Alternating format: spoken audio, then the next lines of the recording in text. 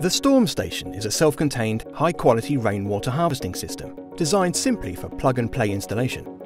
The Storm Station combines tank, filters, pumps and controls all in one unit, saving our clients water, money and contributing towards your sustainable goals. So how does the system work? Pipe work can be run in either above ground or below ground ducting. A suitable base should be installed for the storm station to be located.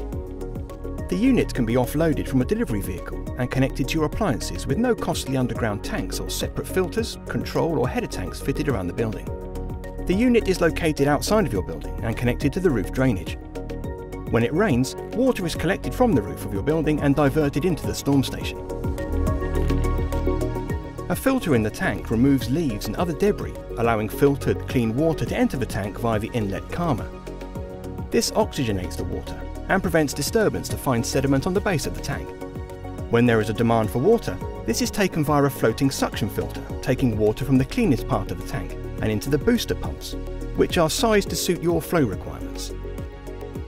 Water is suitable for non-drinking use in toilet and urinal flushing, irrigation of plants, vehicle washing and many other commercial applications, such as industrial process and coolant water. The storm station can be used in many building types and is suitable for new build and retrofit projects, including commercial sites, service stations, and even construction site offices where an easy to install solution may be required to help save water. For more information, contact our team